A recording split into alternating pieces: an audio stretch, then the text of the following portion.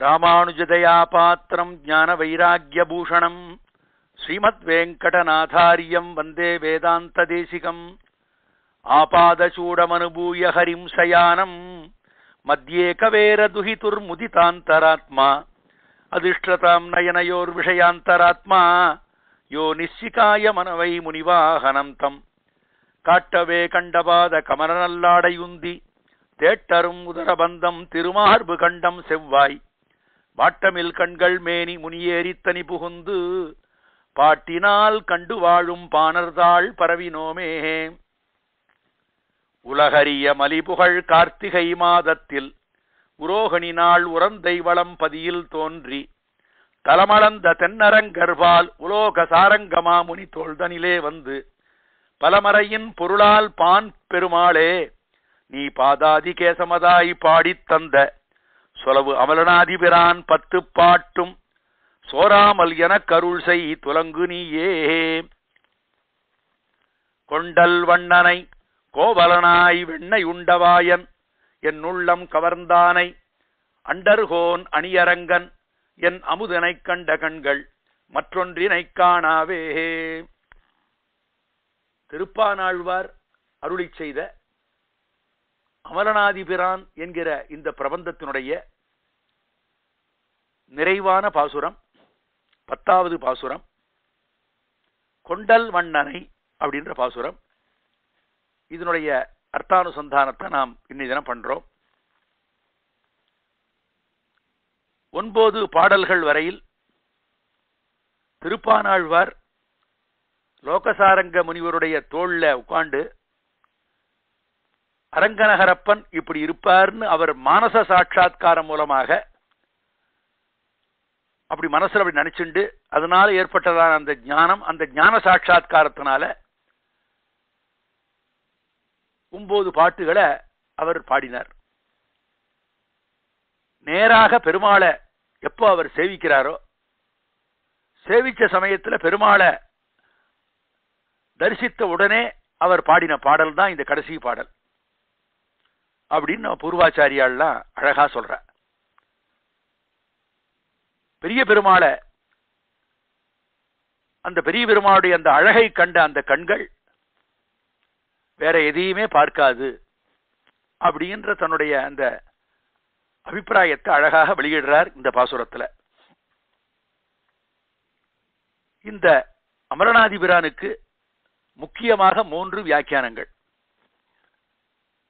பெரியவாச்சான் பிள்ளையினுடைய வியாக்கியானம் அழகிய மனவாள பெருமாள் நாயனாருடைய வியாக்கியானம் சுவாமி தேசிகனுடைய வியாக்கியானம். பிராச்சீனமான இந்த மூணு வியாக்கியானங்கள் இந்த மூன்று வியாக்கியானங்களைய பிரதானமாக முன்னிறுத்தி இந்த அமரநாதிபிரான் வியாக்கியானத்தை நாம் செஞ்சோம்.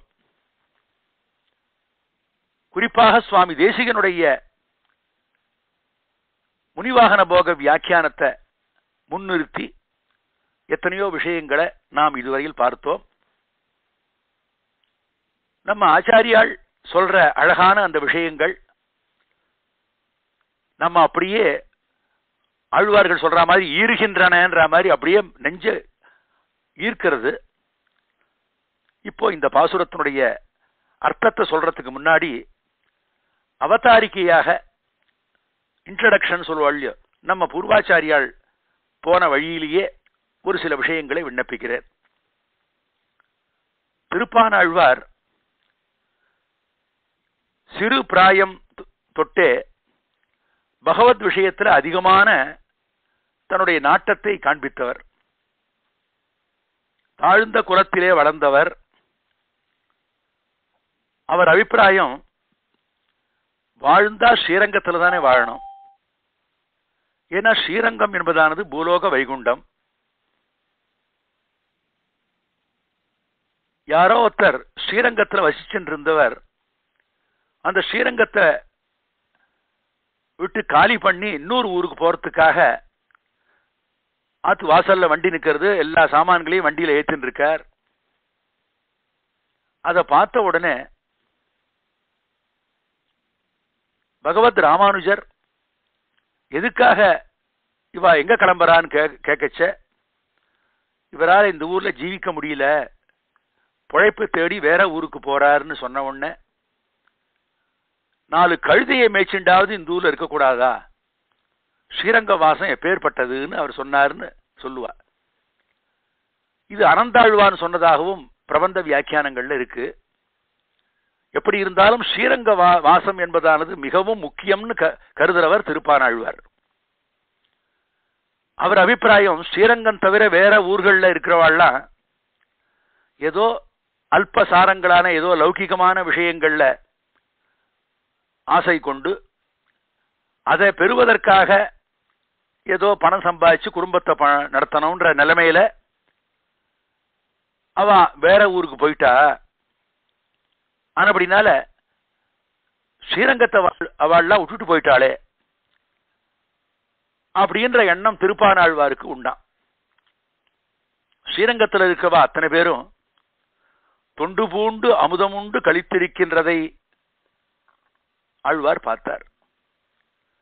வரம் ஹுதவகஜ்வால பஞ்சராந்தர் வியவஸ்திதி நசௌரி சிந்தா விமுக ஜன சம்பாச வைசசம் அப்படின்னு சௌனக சம்ஹிதையில ஒரு ஸ்லோகம் இருக்கு.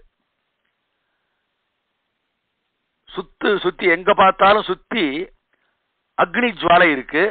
நடுவுல ஒரு கூண்டு ஒண்ணு கிளி கூண்டு மாதிரி ஒரு கூண்டு இருக்கு வச்சுக்கலாம். ஆக அக்னி ஜுவாலை சூழ்ந்த கூட்டுக்குள்ள நிக்க சொன்னா அதை கூட நின்றுடலாம். ஆனா கிருஷ்ணனை பற்றிய நினைவு இல்லாத ஜனங்கள் நடுவுல இருக்கிறதுன்றதானது அது ரொம்ப மோசமானது. அப்பேற்பட்ட உயிர்கொலை சிறந்தது அல்ல. அப்படின்றது சவுனக சம்ஹிதை. அப்படியே திருப்பானாழ்வாரும் அரங்கநகரப்பன் சிந்தை இல்லாதவர்களோடு இவர் சிநேகமே வச்சுக்கல. அவளோட இவர் பொருந்தாதவராகத்தான் இருந்தார். சர்வ புண்ணியமயோ தேசகான்னு எல்லா புண்ணியமும் நிறைந்த தேசம் இந்த ஸ்ரீரங்கம். ஆனபடினால புண்ணியம் நிறைந்த இந்த புனித பூமி ஸ்ரீரங்கம் அப்படின்றத எப்பவும் நினைச்சுட்டே இருப்பார். பவித்ராணாம் ஹி கோவிந்தா பவித்ரம் பரமுச்சியத்தே புண்ணியானாமப்பி புண்ணியோசவ் மங்களானாஞ்ச மங்களம் அப்படின்னு மகாபாரதத்துல ஒரு ஸ்லோகம் இருக்கு வனபருவால. பரிசுத்தமானவைகளில் கோவிந்தன் மேலான பரிசுத்தனாக சொல்லப்படுறான். புண்ணியங்களுள்ளே மிகவும் புண்ணியமானவன் இவனே. மங்களங்களுக்குள்ளேயே மிகவும் மங்களகரமானவன் இவனேன்னு மகாபாரதம் சொல்றது. ஆகவே பெரிய பெருமாள் சம்பந்தத்தாலே இந்த ஊர் பரம பாவனமாக இருக்கு. அல்லது இவ்வூர் சம்பந்தத்தாலே பெரிய பெருமாள் மிகவும் பாவனராக ஆனார் அப்படின்னு நம் பூர்வாச்சாரியால் அபிப்பிராயப்படுறார். இதை சுவாரஸ்யமாக அவ சொல்லச்ச சிட்டனே செழுநீர் திருவரங்கத்தாய் என்று இவ்வூரோட்டை சம்பந்தத்தாலே பாவனபூதர் என்னும்படியான பைலட்சண்யத்தை உடைத்தாய் இருக்கையாலே. இந்த ஊர் சம்பந்தத்தினாலேயே பெருமாளுக்கு ஒரு ஏற்றம் வந்துருத்தான் பெரிய பெருமாளுக்கு. அப்பேற்பட்ட ஊர் இது. அப்பேற்பட்ட இந்த ஊர்ல நாம் புகழாமா ஊர் உள்ள புகழாமா பிரவேசிக்கலாமா? நாம் புகுந்தால் ஏதாவது தோஷம் ஏற்பட்டுடுமா? மாலின்யம் ஏற்பட்டுடும். நாம் தாழ்ந்த குலத்தில் இருக்கோம். அந்த நாளைய அந்த நியமப்படி. இவ்வூருக்கு இது தோஷத்தை ஏற்படுத்துமோ என்னமோ அப்படின்னு நினைச்சாராம் திருப்பானாழ்வார். மற்ற ஊர்களில் உள்ளவர்களுடைய அந்த தாழ்வை பார்த்து அந்த ஊர்களிலே ஆழ்வார் வசிக்க விரும்பல. தன்னுடைய தாழ்வை பார்த்து இந்த ஸ்ரீரங்கத்திலேயும் வசிக்க விரும்புகிறார் இதை நம் பூர்வர்கள் ரொம்ப அழகா சொல்றார் அங்குத்தே நல்லேன் இங்குத்தே நல்லேன் உன்னை காணும் அவாவில் விழுந்து நான் எங்குத்தே நல்லேன் இலங்கை செற்ற அம்மானே திங்கள் சேர் மணிமாடனீடு ஸ்ரீவல மங்கல நகருரை சங்கு சக்கரத்தாய் தமியேனுக்கு அருளாயே என்றார். சுவாமி நம்மாழ்வார் திருவாய்மொழியில அஞ்சாம் பத்துல வானமாமலை பாசுரம். வானமாமலை தோத்தாதிரிநாதன் விஷயமாக சுவாமி நம்மாரு நம்மாழ்வார் எப்படி அருளி செஞ்சாரோ அந்த நிலையில் திருப்பானாழ்வாரும் இருந்தார். பிறருடைய தாழ்வை பார்த்து மற்ற ஊர்களிலே வசிக்க விரும்பல ஆழ்வார். தன்னுடைய தாழ்வை கண்டு ஸ்ரீரங்கத்திலேயும் வசிக்க விரும்பல. இது நம்மாழ்வார் நிலையை ஒத்து இருக்கிறது. ஆகவே ஸ்ரீரங்கத்து உள்ளேயும் போக விரும்பல வேற ஊர்லயும் வசிக்க விரும்பல. ஆகவே ஆழ்வார் ஆந்தராளிகராக ஆயிட்டாராம். ஆந்தராளிகர்னா நடுவில் நிற்பவர். ஸ்ரீரங்கம் ஊர் உள்ளேயும் போல நூறு ஊருக்கும் போல ரெண்டுத்துக்கு நடுவில் அவர் வசிக்க ஆரம்பிச்சார். இவர் நிலை எப்படி இருந்ததுன்னா தேஷாம் சம்பாஷமானானாம். அந்யோன்யம் ச விபீஷண. உத்தரம் தீரமாசாத்திய கஸ்த ஏவ வியதிஷ்டத்தன்னு ஸ்ரீமத் ராமாயணத்தில் சொன்ன மாதிரி விபீஷணாழ்வான் நிலையில திருப்பானாழ்வார் இருந்தார். ராவணனை கண்டித்துட்டு அவனை கண்டிச்சு அவன் திருந்தவில்லை என்பதை தெரிந்து கொண்டு விபீஷணாழ்வான் ராவணனை விட்டு பிரிந்து நேரா ஆகாச மார்க்கத்தில் வந்துட்டார். இனி லங்கைக்கு திரும்பவும் போக முடியாது. இங்க ராமகோஷ்டியிலேயோ இவனை சேர்ப்பதா கூடாதான்னு ஒரு விவாதம் நடக்கிறது. என்ன செய்வார் விபீஷணாழ்வான் அவர் நிலை திருப்பானாழ்வாருக்கு ஏற்பட்டது அப்படின்னு நம்ம பூர்வாச்சாரியால் சுவாரஸ்யமாக எழுதுறார். ஆகவே அகமகிழும் தொண்டர் வாழும்படியாக அன்போடு தென் திசையை நோக்கிக் கொண்டு கண் வளர்கின்ற அந்த பெரிய பெருமாளுடைய கட்டாட்சம் விழும்படியாக அந்த தென்னாற்றங்கரையை பற்றி திருப்பானாழ்வார் நின்றார். பெரிய பெருமாள் உலகில் இருப்பவர்கள் போல் இவர் இல்லையே என்று நினைத்தானாம். உலகில் உள்ளவர்களிலே எத்தனையோ பேர் அசுரத்தன்மையோட இருக்கிறார்கள்.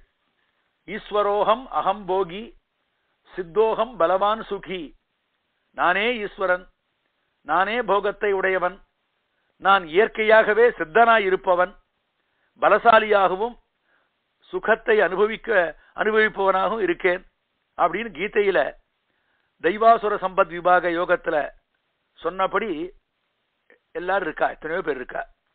அவர்கள் அகங்காரத்துடன் கூடியவர்களாய் லௌகிக விஷயங்களில் ஈடுபாட்டுடன் அவ அத்தனை பேர் இருக்கா? ஆனா திருப்பானாழ்வார் அப்படி இல்லை. நிமக்ன ஆபகா பிரவணகா அப்படின்னு சொன்ன மாதிரி பள்ளத்திலே இயற்கையாகவே பாய்வது தண்ணீர் அப்படின்னு சொன்ன மாதிரி இவர் விஷயத்தில் எம்பெருமானுடைய திருவள்ளும் அந்த திருவள்ளமானது அப்படியே பேராறு மண்டி இவர் விஷயத்தில் அதிகமாக பிரவகிச்சது. பெரிய பெருமாள் திருப்பானாழ்வாருக்கு தன்னுடைய எல்லா தன்மைகளையும் தன்னுடைய வடிவழகியும் காட்டிக் கொடுத்தான். என் கண்ணுள்ளன ஒக்கின்றனவேன்னு சொல்லி பிரத்யட்ச சமானாகாரமாக பிரகாசிக்கும்படியாக அவன் செஞ்சான். முதல்ல அந்த திருவடிகளை அனுசந்தித்தார் அழ்வார் அந்த திருவடிகளுக்கு மேலான அந்த திரு பீதாம்பரமும் திருவரையுமான அந்த சேர்த்தியை அப்படியே ஆசையாக மடிபிடித்து அனுபவித்தார் ஆழ்வார். பிறகு திருநாபி கமலத்தை அனுபவித்தார். மேன்மைக்கும் சௌலபியத்துக்கும் பட்டம் கட்டியிருப்பது நாமல்லவா அப்படின்னு அந்த உதரபந்தனம் தன் பக்கத்திலே ஆழ்வாரை இழுத்தது. அதையும் அனுபவிச்சார் ஆழ்வார்.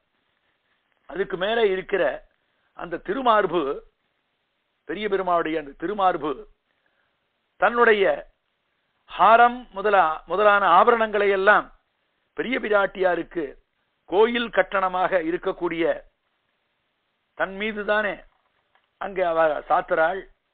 ஆக அப்படி சொல்லி தன் மேன்மையை காட்டி ஆழ்வாரை இழுத்து கொண்டது. அந்த திருமார்பை அனுபவித்தார் திருப்பானாழ்வார். பிராட்டிக்கு ஹாரம் முதலான ஆபரணங்களுக்கும் ஆசிரியமான அந்த திருக்கழுத்தை அனுபவித்தார் அதன் பிறகு அழுவார்.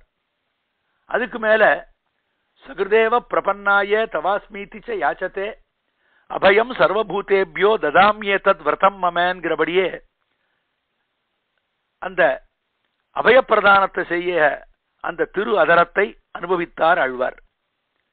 கோவை மனாட்டி நீயுன் கொழுங்கனி கொண்டு எம்மை ஆவி தொலைவியேல் வாயழகர தம்மை அஞ்சுதும் அப்படின்னு ஆண்டாள் அருளி செஞ்சபடி நாச்சியார் உட்பட அனைவருடைய கண்களை அப்படியே ஆகர்ஷிக்கக்கூடிய அளவுக்கு இருக்கக்கூடியதான அந்த இயற்கையான சௌந்தரியத்தை உடைய அந்த திரு அதரத்தை அனுபவித்தார் திருப்பானாழ்வார். இப்படி அவயவங்களை அனுபவித்துக் கொண்டிருந்த போது இடையில திவ்ய ஆயுதங்கள் அப்படியே இராய்ச்சி கொண்டனன்வா அதாவது ஒன்றுக்கொன்று அஹ், உர- உராய்ஞ்சு அப்படியே தாங்கள் இருப்பதை அது அப்படி காமிச்சு கொடுத்துதான். அவற்றையும் அனுபவித்தார் அழ்வார். அபயம் ததாமி என்கிறபடி சொல்லுகிற அந்த வார்த்தைகளை கொடுக்கிற குளிர்ந்த கடாட்சங்களை உடைய திருக்கண்களை அனுபவித்தார் அழ்வார். பாலும் பழமும் கண்ட சர்க்கரை அதாவது கற்கண்டு இந்த மாதிரி இருக்கக்கூடிய ரச வஸ்துக்களை சேர்த்து சாப்பிட்றவா மாதிரி இந்த அவயவங்களோடு உண்டான அந்த சேர்த்தியால் வந்த அழகையும் இயற்கையாகவே உள்ள அந்த அழகையும் அந்த பெரிய பெருமாளுடைய அந்த திருமேனியினுடைய அந்த அழகு. பசுங்கூட்டுன்னு வாயுது தமிழ்ல. அதாவது வாசனை கலவை. கற்பூரம் சந்தனம் குங்குமம் இந்த மாதிரி எல்லா வஸ்துக்களும் சேர்த்தா ஒரு கலவை. அது போன்ற அந்த சமுதாய சோபையை ரொம்பவும் ஆசையாக அழகாக அனுபவித்தார் திருப்பானாழ்வார். அத்தோடு நில்லாமல் திருப்பானாழ்வாருடைய இப்படிப்பட்ட அந்த மானசானுபவமும் மனப்பூர்வமான அந்த வாச்சிகானுபவத்தையும் கண்ட பெரிய பெருமாள் ரொம்ப சந்தோஷப்படுறார். ஆஹ்லாத சீத நேத்ராம்புகு புலகீகிருத காத்திரவான் சதா பரகுணாவிஷ்டோ திரஷ்டவியா சர்வதேகிபிகி அதாவது மகிழ்ச்சியால் உண்டான குளிர்ந்த ஆனந்த கண்ணீரை உடையவனாய் மயிர்கூச்செறியும் உடம்பை உடையவனாய் பரமபுருஷனுடைய குணங்களால் ஆட்கொள்ளப்பட்டவனாகவும் பகவத் பக்தன் எல்லா ஜீவர்களாலும் காணத்தக்கவன் அப்படின்னு விஷ்ணு தத்துவம்ன்ற கிரந்தம் சொல்றது. அந்த மாதிரி திருப்பானாழ்வாரை அழைத்து வர எண்ணினான் பெரிய பெருமாள். அது மட்டுமில்ல சகிருத்வதாக்கார விலோகநாசயா திருநீகிருத்தானுத்தம புக்தி முக்திபிகி மகாத்மபிர்மாம் அவலோக்கியதாம் நய க்ஷணேபி தே எத் விரகோ அதி துஸ்ஸகா அப்படின்னு ஸ்தோத்திர ரத்னத்துல ஆளவந்தார் சாதிக்கிறார். எந்த பெரியவர்களுடைய பிரிவு உனக்கு ஒரு கணப்பொழுதும் மிகவும் பொறுக்க முடியாததாக இருக்கோ ஒரு தடவை உன்னுடைய திருமேனியை காண வேணும் என்றும் ஆசையினாலே திருணமாக நினைக்கப்பட்ட மேலான போக மோட்சங்களை உடைய அந்த பெரியோர்களால் கடாட்சிக்க தக்கவனாய் இருக்கக்கூடிய தன்மையை அடையும்படி எம்பெருமானே என்னை செய்துள்ள வேணும்னு ஆள வந்தார். ரத்னத்தில் பிரார்த்திக்கிறார். அந்த மாதிரி தம்மை காண வேணும் என்கிற ஆசை உடையாரை க்ஷணகாலமும் பிரிந்திருக்க மாட்டார் பெரிய பெருமாள். ஆனபடினால ஆழ்வாரை அழைப்பித்துக் கொள்ள வேணும் அப்படின்னு நினைச்சார். அதுக்காக சமயம் பார்த்தார். நாமே அழைத்து வரலாம்னு நினைச்சா அது முடியுமா? நாமும் அர்ச்சாவதார நிலையில சயனிச்சென்றிருக்கோம் அர்ச்சா சமாதியை கடந்து அதை மீறி நாம் காரியம் செய்ய முடியாது. அசங்கேதம் அனாலாபம்னு சொன்ன மாதிரி அர்ச்சாமூர்த்தியானது செய்கை எதையும் செய்யாது பேசாதது. ஆகையால் அவ்வாறு பெரிய பெருமாள் செய்யலையாம். என்ன செய்யறது? பார்த்தார் பெரிய பெருமாள் விபீஷண ஆழ்வானை ஏத்து ஏத்துக்கலாம்னு ராமன் முடிவு பண்ண உடனே மகாராஜரை கூப்பிட்டார். மகாராஜர்னா சுக்ரீவனுக்கு சம்பிரதாயத்துல பேர். சுக்ரீவா போய் விபீஷணாழ்வான ஆழ்வா அப்படின்னு சொன்னார். ஆனையினும் ஹரிசிரேஷ்ட தத்தமஸ்யாபயம் மயா விபீஷணோ வா சுக்ரீவ எதிவா ராவணஸ்வயம் அப்படின்னு சொல்லி சுக்ரீவனை அழைத்து வர சொன்ன மாதிரி திருப்பானாழ்வாரை அழைத்து வர எண்ணினான் அரங்கநகரப்பன். லோகசாரங்க முனிகளை பார்த்து ஆனையை இனம் இவர் ஆக்ஷன் வாரும் அப்படின்னு சொன்னான். லோகசாரங்க முனிகளும் எப்போதும் பெரிய பெருமாளை சேவித்துக் கொண்டே இருப்பவர். மற்றுமோர் தெய்வம் உலகன்று இருப்பாரோடு உற்றிலேன். உற்றதும் உன் அடியார்க்கு அடிமை. மற்றெல்லாம் பேசிலும் நின் திருவெட்டெழுத்து கற்று நான் கண்ணபுரத்துறை அம்மானேன்னு திருமங்கையாழ்வார் சாதிச்சபடி உன் அடியார்க்கு அடிமை என்கிற அபிப்பிராயத்தோடே கூடினவர். அதாவது பாகவத்தால கௌரவிக்கணும்ன்ற அந்த எண்ணம் மிகுந்தவர் லோகசாரங்க முனி அது மாத்திரமில்ல பார் வண்ண மடமங்கை பனிநன்மா மலர்கிழத்தி நிகிர்வண்ணன் மார்வத்தில் இருக்கையை முன் நினைந்தவனூர். கார்வண்ண முதுமுன்னீர் கடல் மல்லை தலசயனம் ஆரென்னும் நெஞ்சுடையார். அவரம்மை ஆழ்வாரே திருக்கடன் மல்லை அதாவது மகாபலிபுரம் ஸ்தலசயன பெருமாளை மங்களாசாசனம் பண்ற சமயத்துல திருமங்கை ஆழ்வார் சொன்ன மாதிரி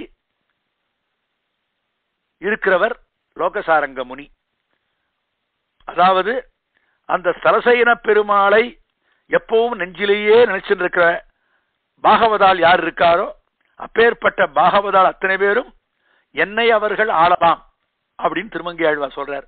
ஆக பாகவதாவுடைய சிறப்பை அந்த மாதிரி பேசினார். அதே நிலைமையில லோகசாரங்க முனியும் இருக்கார். அது மாத்திரம் இல்ல பயிலும் சுடரொளி மூர்த்தியை பங்கய கண்ணனை பயில இனியனம் பார்க்கடல் சேர்ந்த பரமனை. பயிலும் திருவுடையார் எவரேலும் அவர் கண்டீர். பயிலும் பிறப்பிடைதோறு எம்மையாளும் பரமரே. சுவாமி நம்மாழ்வார். திருவாய்மொழி மூணாம்பத்துல சாதிச்ச மாதிரி அந்த பாகவதர்களுடைய அந்த பெருமையை ரொம்பவும் ஸ்லாகிச்சு பேசுறார். சுவாமி நம்மாழ்வார். அந்த மாதிரி பாகவதாள் விஷயத்துல மிகுந்த ஈடுபாடோடு இருக்கிறவர் லோகசாரங்க முனிகள். இவ்வாறான ஆழ்வார்களுடைய அந்த அருள் அருள் செயல்களை எல்லாம் கேட்டவர் ஆனபடியினால பெரிய பெருமாள் கூறியபடியே வேகமாக போய் திருப்பானாழ்வாரை அருள் பாடிட்டு தாம் சிரசா வகித்து கொண்டு அப்படியே வந்தார். திருப்பானாழ்வாரும் பெரிய பெருமாள் அபிப்பிராயப்படி முனிவாகனராக வந்து புகுந்து பெரிய பெருமாளுடைய அந்த திருவடியை தொழுதார். முதல்ல அவர் வந்து பெருமாள் நியமனம் வாரும்னா முதல்ல முதல்ல வர மறுத்தார் அவர். ரொம்ப தயங்கி தயங்கி தான் அவர் தோளில் உட்காண்டார் அவர். திருப்பானாழ்வார். அப்படி வந்த உடனே பெருமாள் வந்து நேர பெருமாள் திருவடியை தொழுகிறார் திருப்பானாழ்வார். தஸ்ய தச்சேதசோ தேவா ஸ்துதிமித்தம் பிரகுர்வத ஆவிர்பூவ பகவான் பீதாம்பரதரோ ஹரிஹி விஷ்ணு புராணத்துல இந்த மாதிரி சொல்லப்பட்டிருக்கு.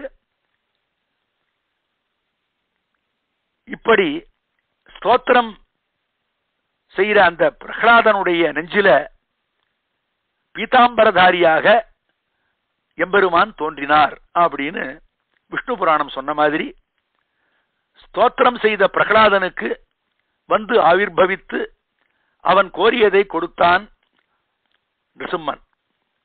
உடனே நிருசிம்மன் பிரம்மாவை பார்த்து அசுரர்களுக்கு இவ்வாறு இனிமே வரம் கொடுக்கக்கூடாது குரூரமான சுபாவம் உடையவர்களுக்கு கொடுக்கப்படும் வரம் பாம்புகளுக்கு அமிர்தம் கொடுப்பது போல் ஆகும் அப்படின்னு நிருசிம்மன் பிரம்மா கிட்ட சொல்றார். இத்தியுக்துவா பகவான் ராஜன் தத்ரைவ அந்தரதீயத அதிருஷ்யா சர்வபூதானாம் பூஜிதா பரமேஷ்டினா அப்படின்னு ஸ்ரீமத் பாகவதத்தில் சொன்ன மாதிரி நிருசிம்மன் கண்ணுக்கு தெரியாமல் மறைஞ்சு போயிட்டார். அந்த மாதிரி பிரகலாதன் ராஜ்யத்தை பெற்று அவன் பொழுதுபோக்கு அப்படியே அந்த பிரஜா பரிபாலனம் பண்ணி அவன் பொழுதுபோக்கின்றிருந்தான். ஆனால் திருப்பான ஆழ்வார் அப்படி இல்லை. பெரிய பெருமாள் எண்ணினாராம் இந்த திருப்பான ஆழ்வார் நம்முடைய அந்த விசேஷத்தை அதாவது பிரிவை பொறுத்து கொள்ள மாட்டார் அப்படின்ற எண்ணத்தினால தம்முடைய ஸ்வரூப ரூப குண விபவ ஐஸ்வர்யங்களை எல்லாம் காட்டினான் எம்பெருமான். ஆழ்வார் மகிழ்ச்சி அடைஞ்சார். இவ்வளவும் ஆழ்வாருக்கு மானசானுபவத்தால் நடந்தது. பெரிய பெருமாளை துதி செய்ய ஆரம்பிச்சார். அமரநாதிபிரான் பிறந்தது. ஆதி விண்ணவர்கோன் நீதிவானவன் அரங்கத்தம்மான் அப்படின்னும் உலகமளந்து அண்டமுற நிவந்த நீள்முடியன் அன்று நேர்ந்த நிசாச்சரரை கவர்ந்த எங்க வெங்கனை காகுத்தன் அப்படின்னும் விரையார் பொழில் வேங்கடவன் அப்படின்னும் தம்முடைய பர வியூக விபவ அர்ச்சாவதாரங்களையும் தம் பக்கலிலே ஆழ்வார் அனுசந்தானம் செய்தத பார்த்தார் பெரிய பெருமாள் ஆழ்வாரை பரீட்சை செய்ய தன்னுடைய திவ்ய அவயவங்கள் ஒவ்வொன்றையும் காட்டினார் பெரிய பெருமாள் பெரிய பெருமாள் தன் மனசுல இவ்வாறு எண்ணிண்டாராம் ஏறார் முயல் விட்டு காக்கை பின் போவதேன்னு திருமங்கையாழ்வார் சிறிய திருமடல்ல சொல்லியிருக்கார். இவர் ஏதாவது நம்ம நிந்திச்சுடுவாரா? திருமங்கை ஆழ்வார் நிந்தித்தார். எதை நிந்தித்தார்னா இந்த அர்ச்சாவதாரத்தினுடைய மேன்மையை பார்த்துட்டு இந்த பரம் விபவம் பரம் வியூகம் விபவம் இதுகள்லாம் இதுகள் இது பேர்ல அவருக்கு ஆசை போல.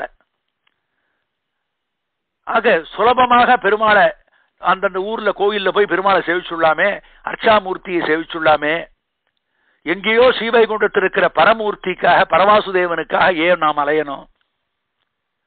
அப்படி சொல்லி அர்ச்சாமூர்த்தியை ரொம்ப ஸ்லாகித்து பேசி அந்த பரவியூகங்களை எல்லாம் கொஞ்சம் இகழ்ந்து பேசினா மாதிரி ஏறார் முயல் விட்டு காக்கை பின் போவதேன்னு சொல்கிறவர் எளிதில் பிடிக்கக்கூடிய முயலை விட்டுட்டு பிடிக்க முடியாத காக்க பின்னாடி துரத்தினு ஏன் போனோம்? அப்படின்னு வேற சொன்னார் அவர். திருமங்கை ஆழ்வார் மாதிரி இந்த திருப்பான் ஆழ்வார் நம்ம ஏதாவது நிந்திச்சுடுவாரா? அப்படின்னு நினைச்சானாம் ஒரு க்ஷணம் பெரிய பெருமாள் அச்சுவை பெரினும் வேண்டேன்னு தொண்டடி பொடி ஆழ்வாரை போல இவர் இருப்பாரா? இவருடைய திருவள்ளம் எப்படி இருக்கும்? அதை அறிஞ்சுக்கணும்னு பெரிய பெருமாள் நினைச்சாராம். திருப்பான ஆழ்வார் எப்படி இருக்காருன்னா கடலிலே குளப்படி உண்டாமா போலேனர் இங்க உரை எழுதின உரையாசிரியர். ஆக இவருடைய அந்த மனசு முழுக்க எம்பெருமான் நிறைஞ்சிருக்கான். அந்த எம்பெருமான் விஷயத்துல ஆறா காதல் பூண்டிருக்கார் ஆழ்வார். பூர்ணமதா பூர்ணமிதம் பூர்ணாத் பூர்ணமுதட்சியத்தே பூர்ணஸ்ய பூர்ணமாதாய பூர்ணமேவாவசிஷ்யத்தேன்னு சொன்ன மாதிரி சர்வம் பூர்ணம் சகோம் அப்படின்னு சொன்ன மாதிரி பரமாசுதேவன் சர்வ குணங்களாலும் பூர்ணராய் இருப்பவர். இங்குள்ள அர்ச்சாவதார மூர்த்தியும் சர்வ குணங்களாலும் நிறைந்திருப்பவர். பூர்ணரான அந்த பரமூர்த்தியிடமிருந்து பூர்ணரான அர்ச்சாமூர்த்தி உதிக்கிறார். பூர்ணரான பரமமூர்த்தி பரமூர்த்தியிற்கிட்டேந்து பூர்ணரான அர்ச்சாமூர்த்தி பிரிந்த பின்பும் பரமூர்த்தி பூர்ணராகவே இருக்கிறார். அர்ச்சாமூர்த்தியும் பரத்வ சௌரபியாதி சகல கல்யாண குணங்களுடன் பூர்ணராகவே இருக்கிறார் அப்படின்னு உபனிஷத் சொன்ன மாதிரி பெரிய பெருமாளிடமே எல்லாவற்றையும் காணலாம். ஆகவே எனக்கு பெரிய பெருமாளை தவிர வேறொருவரை அனுபவிக்க ஸ்ரத்த இல்லை. எனக்கு உண்டானாலும் அவரை அனுபவித்த என் கண்கள் மற்றொன்றினை காணாவே அப்படின்றார் திருப்பானாழ்வார். திருப்பானாழ்வார் பெரிய பெருமாள் மீது பாடிய இந்த அமரநாதிபிரான் பத்து பாட்டும் முக்தனுடைய சாமகானத்திற்கு ஒப்பாக இருக்குன்னு சுவாமி தேசிகன் அபிப்பிராயப்படுறார். இந்த ஆழ்வார் அடியேன் என்கிற அந்த சேஷத்துவானுசந்தானம் தவிர்த்த மற்ற விஷயங்களை எல்லாம் மறந்துட்டார். தம் பெயரையே மறந்துட்டார். அமல்நாதிபிரான்ல இந்த பத்து பாட்டை எழுதினது திருப்பானாழ்வார்னு தன் பெயரை சொல்லவே இல்லை. இந்த ஊர்ல பிறந்தவர்னு ஊரையும் அவர் அந்த பா- பத்து பாட்டுல குறிப்பிடல. ஆக தம் பெயரை மறந்தார் ஊரை மறந்தார். தான் பெற்ற இந்த அனுபவத்துக்கு எந்த விதமான தடங்களும் வராமல் விச்சேதம் வராதபடி பெரிய பெருமாள் பண்ணின அந்த மகோபகாரத்தை நினைச்சு பார்த்தார் ஆழ்வார். மகிழ்ச்சி அடைந்தார் அப்படின்னு சுவாமி தேசிகன் அழகாக இங்க தன் வியாக்கியானத்தை சாதிக்கிறார். நாம் பாசுரார்த்தத்துக்கு வருவோம். ஆச்சரியமான பாசுரம். நம்முடைய பூர்வாச்சாரியால் போற உகந்து அழகாக வியாக்கியானம் பண்றாள். கொண்டல் வண்ணனை அப்படின்னு ஆரம்பமாறுது பாசுரம். எம்பெருமான் அவன் மேகத்தினுடைய அந்த வண்ணத்திலே இருப்பவன்.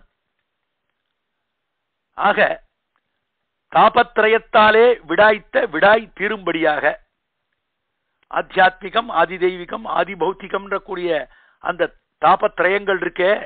அதனால ஏற்பட்டதான அந்த விடாய் தீரும்படியாக இவன் தன்னுடைய கிருபையை வருஷிக்கக்கூடியவனாக கொண்டல் வண்ணனாக எம்பெருமான் சேவை தருகின்றான் பெரிய பெருமாள் ஸ்ரீரங்கத்துல.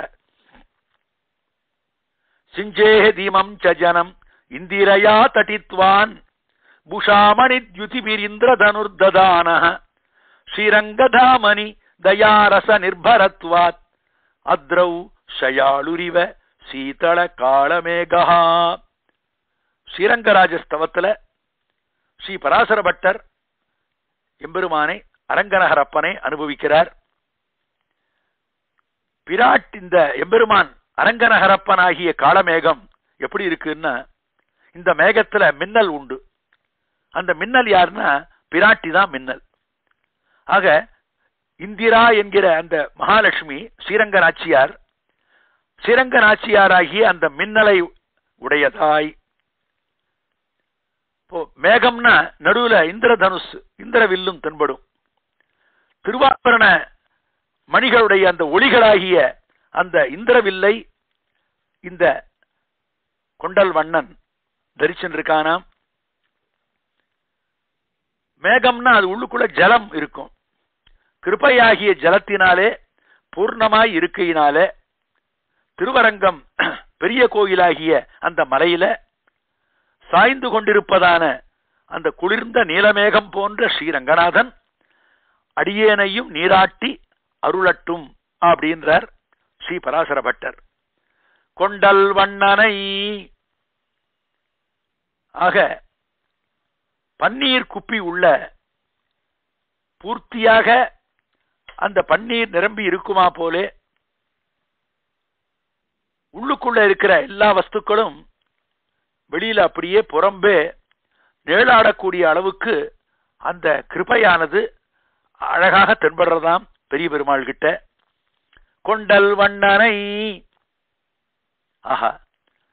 கண்களுக்கு அழகான ஒரு விஷயம் தென்படுறது. என்ன? ந மாம்ச சற்றுகு அபிவீட்சத்தே தம். மாம்சத்தாலான இந்த கண் பரமபுருஷனை காணாது அப்படின்னு வேதம் சொல்றது. ஆனா திருப்பானாழ்வார் அந்த மாம்ச கண்களாலேயே தரிசித்தார். அப்படி தரிசிச்ச உடனே முதல்ல அவர் சொன்ன வார்த்தை என்ன? நேரா பெரிய பெருமாளை சேவிச்ச உடனே அவர் சொன்ன வார்த்தை கொண்டல் வண்ணனை அப்படின்னு சாய்க்கிறார்.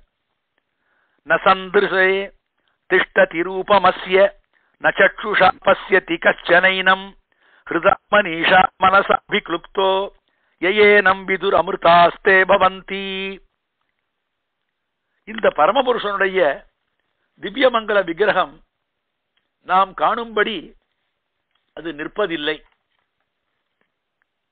ஆகவே எவனும் இந்த பரமபுருஷனை கண்ணால் காண்பதில்லை. பக்தியினாலும் சஞ்சலத்தன்மை அற்ற மனதாலும் இவன் நினைக்கப்படுகிறான். எவர்கள் இந்த பரமபுருஷனை அறிகிறார்களோ அவர்கள் முக்தராகின்றார்கள் அப்படின்னு தைத்தரு தைத்தரியோபனிஷத்துல மந்திரம் இருக்கு. ஆனால் திருப்பானாழ்வார் பெரிய பெருமாளை தரிசிச்சார். கொண்டல் வண்ணனை அப்படின்னு பாடுறார். பரமாத்மாவை காண முடியாது அப்படின்னு சொல்லித்து உபனிஷத். ஆனா அந்த வார்த்தையை அழிச்சு தன் வடிவழகை பெரிய பெருமாள் காட்டுகிறாரே அப்படின்னு நினைச்சுண்டு அந்த உபகாரத்தை நினைச்சு பார்த்தார் திருப்பானாழ்வார். கொண்டல் வண்ணனை அப்படின்னு பாடுறார். ஆகா எப்பேற்பட்ட அந்த கிருபையை வருஷிக்கக்கூடிய ஒரு நீல மேகம் மாதிரி எம்பெருமான் தென்படுகின்றான். அது மாத்திரமில்ல. கொண்டல் வண்ணனை. நம்முடைய சிரமங்களை எல்லாம் போக்கடிக்கக்கூடிய அந்த வடிவழகு எம்பெருமானுக்கு இருக்கே. நினைந்திருந்தே சிரமம் தீர்ந்தேன்.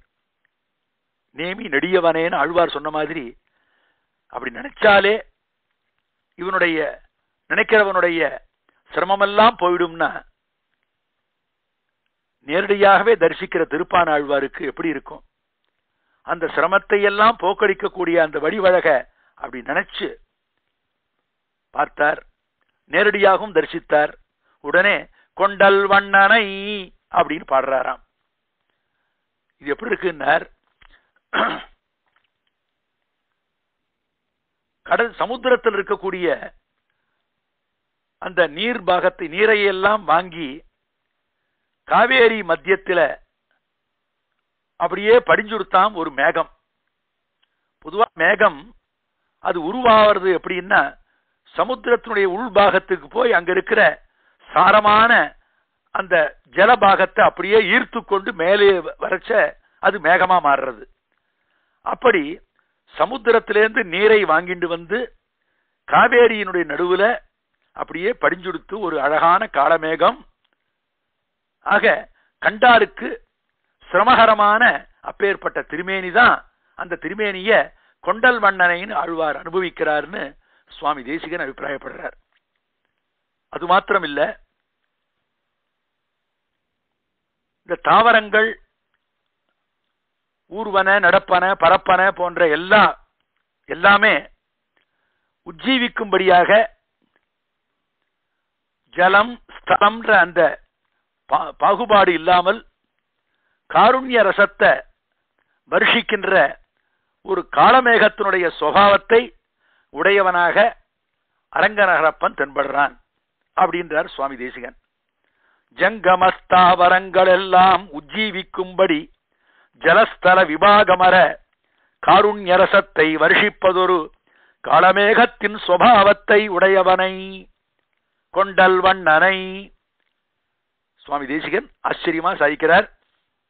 இங்க வண்ணம்னா என்ன அர்த்தம்னா ஒன்று நிறம்னு ஒரு அர்த்தம் சுவாவம்னு மற்றொரு அர்த்தம். சுவாமி நம்மாழ்வார் முகில் வண்ணன் அடியை அடைந்து அருள் சூடி உய்ந்தவன் அப்படின்னு தன்னை பத்தி சொல்லிக்கிறார். திருவாய்மொழி ஏழாம் பத்துல. ஆக முகில் வண்ணன் அப்படின்னு ஆக அந்த எம்பெருமானுடைய அந்த மேகம் போன்ற அந்த சுவாவம் மேகம் எப்படி வருஷிக்கிறதோ அப்படி அருளை வருஷிப்பவன் கிருபையை வருஷிப்பவன் சர்வேஸ்வரன் அப்படின்றத அழகாக தன்னுடைய பாசுரம் மூலம் காட்டி தந்தார் சுவாமி நம்மாழ்வார். கொண்டல் வண்ணனை அப்படின்னார் ஆழ்வார் அது மாத்திரம் இல்ல கோவலனாய் வெண்ணை உண்டவாயன். இவன் இடையனாய் மாறி அந்த வெண்ணைக்காக படாத பாடுபட்டான். இல்லந்தோறும் புகுந்தான். வெண்ணெய் களவு கண்டான். அப்படினால இடையனாய் வெண்ணெய் உண்ட அந்த திருப்பவளத்தை உடையவன் கோவலனாய் வெண்ணை உண்ட வாயன். ஆக இவன் வந்து சக்கரவர்த்தி திருமகனாக அவதாரம் பண்ணி இருந்தா அந்த ராஜபுத்திரன் வீடு வீடா போய் வெண்ணைய வெண்ணைக்காக அவன் அலைஞ்சா இருக்கிறவா ஒத்துப்பாளா? ஆகவே இவன் கோவலனாய் மாறிட்டானா? கோவலன்னா இடையன் அர்த்தம். ஆக சக்கரவர்த்தி திருமகனாகில் வெண்ணை உண்ட வெண்ணை உண்ண ஒட்டார்கள்.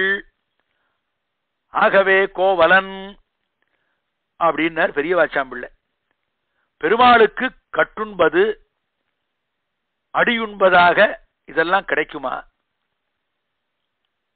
கிருஷ்ணாவதார காலத்துல இடக்கை வழக்கை தெரியாத ஒரு இடைச்சி இவனை அவ கற்றாள்னா அப்படி தன்னை தாழ விட்டு கொண்டான் ஸ்ரீகிருஷ்ணன். தன்னுடைய சௌலபியத்தை காண்பித்தான் ஸ்ரீகிருஷ்ணன்.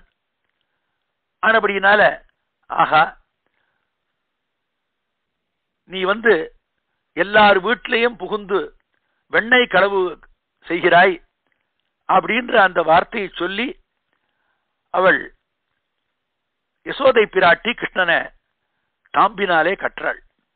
கண்ணினுன் சிறு தாம்பினால் கட்டுண்ண பண்ணிய பெருமாயன்னு இத மதுரகவி ஆழ்வார் அனுபவிக்கிறார்.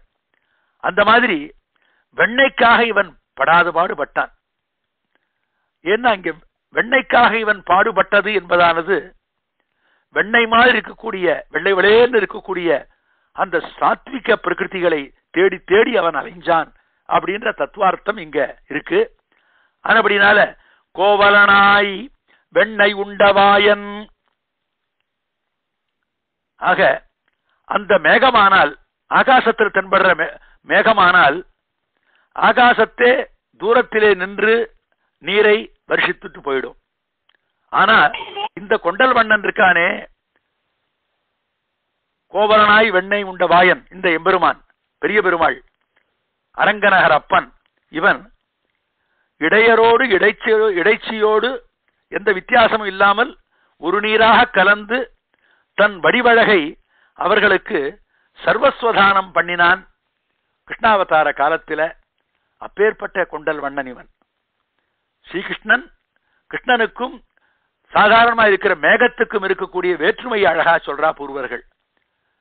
அந்த மேகம் ஆகாசத்தில் நின்று அப்படியே அந்த மழையை வருஷிச்சுட்டு போயிடும். ஆனா இவன் கொண்டல் வண்ணனாக கோவலனாக மாறி வெண்ணெய் உண்ட வாயனாக மாறி இவன் அப்படி பழகினான் சொன்ன எல்லாரோடும் இடையர் இடைச்சி என்ற அந்த பாகுபாடு இல்லாமல் எல்லாரோடும் நீர நீராக ஒரு நீராக கலந்து தன் வடிவழக அவன் வந்து எல்லாருக்கும் அவன் அனுபவிக்கும்படி பண்ணினான். அப்படிப்பட்ட சர்வேஸ்வரன் கோவலனாய் வெண்ணை உண்ட வாயன் அப்படின்றார் அழுவார். தசரத சக்கரவர்த்தி தன்னுடைய ராஜ்யைஸ்வரியத்தை அதை அனுபவிக்கிறதுக்கு எனக்கு ஒரு பிள்ளை இல்லையே. எனக்கு ஒரு பிள்ளை வேணும்னு அவர் வந்து புத்திரகாமேஷ்டி யாகம் பண்ணார். யாகமெல்லாம் பண்ணி மகதா தபசாராமம்னு அவர் வந்து நோன்பு நோற்று பெருமாளை சக்கரவர்த்தி திருமகனை அவர் பெற்றார். அதே மாதிரி நந்தகோபரும் கிருஷ்ணனை பெறுவதற்கு என்ன பாடுபட்டார்? மானாயமென் நோக்கி வாழ்நெடுங்கண் நீர் மல்கும் வளையும் சோறும். தேனாய நெருந்துழாய் அலங்கலின் திறம் பேசி உறங்காள் காண்மின். காணாயன் கடிமனையில் தயிருண்டு நெய்பருக நந்தன் பெற்ற ஆனாயன் என் மகளைச் செய்தனகள் அன்னை மீர் அருகிலேனே. திருமங்கை ஆழ்வார் ஸ்ரீரங்கம் திவிதேசத்துக்கு எழுந்துள்ளினார். பெரிய பெருமாளை மங்களாசாசனம் பண்றார். அவர் கண்ணுக்கு பெரிய பெருமாள் ஸ்ரீ கிருஷ்ணனாகவே தென்படுறார். கிருஷ்ணாவதார நிகழ்ச்சி அவர் கண்ணு முன்ன தெரியுது. உடனே பெண்மை எய்தினார் ஆழ்வார். நாயிகா பாவத்தை அடைஞ்சார். பரகால நாயகியாக மாறிட்டார் உடனே திருத்தாயார் சொல்ற மாதிரி பரகால நாயகியினுடைய அம்மா பேசுற மாதிரி ஒரு பாசுரம். பெரிய திருமொழி பிரபந்தத்தில் அஞ்சாம்பத்தில் இருக்கிற பாசுரம். மான் மாதிரி மிரள மிரள விழிக்கிற என் பெண் பரகால நாயகி வாழ் மாதிரி அழகான அந்த கண்ணோடு கூடின கண் அழகோடு கூடின என் பெண் கண்லேந்து தார தாரையாக கண்ணீர் வருதே. என்னவா இருக்கும்? எப்ப பார்த்தாலும் அந்த பெரிய பெருமாளுடைய திருமேனியில அலங்காரமாக சாத்தப்பட்டிருக்கிற அந்த திருத்துழாய் மாலை இருக்க அந்த மாலையினுடைய அதை பத்தியே சொல்லி சொல்லி சொல்லி அவள் மாஞ்சு போறா. தூக்கம் வரல அவளுக்கு. என் பெண் பரகால நாயகிக்கு. அத்தோடு இல்லாமல் அந்த கோபாலன் கிருஷ்ணனாக அவதரிச்ச அந்த எம்பெருமான் வீடு வீடாக புகுந்து தயிர் உண்டு நெய் பருகி அவன் செஞ்ச அந்த திவ்ய சேஷ்டிதங்களை எல்லாம் நினைச்சு பார்க்கிறா. அதை வாய் வெறுவி சொல்றா அவன் நந்தன் பெற்றவன் அல்லவா? நந்தகோபனுடைய குமாரன் அல்லவா? அவன் என் மகளை அவன் என்ன செஞ்சானோ? எனக்கு புரியலையே தாய்மார்களே எனக்கு புரியலையே அப்படின்ற மாதிரி ஆச்சரியமாக அந்த ஸ்ரீரங்க பாசுரத்துல திருமங்கை ஆழ்வார் அனுபவிக்கிறார். அப்பேற்பட்ட ஒரு சூழ்நிலை. அதை இங்க கோவலனாய் வெண்ணையுண்ட வாயன் அப்படின்னு ஆழ்வார் சொன்ன மாதிரி திருவாய்ப்பாடியில